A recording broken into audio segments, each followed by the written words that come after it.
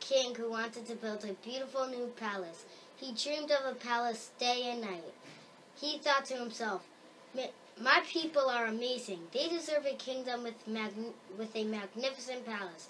I should build a palace on the top of a mountain for them to be inspired by. Where to begin, he asked himself. A palace needs bricks, so he called a mason to make him bricks. How many bricks will you need, your majesty? The king did not know.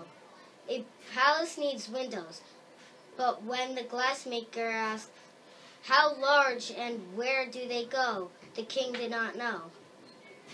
How tall must the ceiling be? How many stair stairs will be there? The king did not know what to answer. The king realized what he must do. He called an architect to design the palace and drew it on a paper called a blueprint.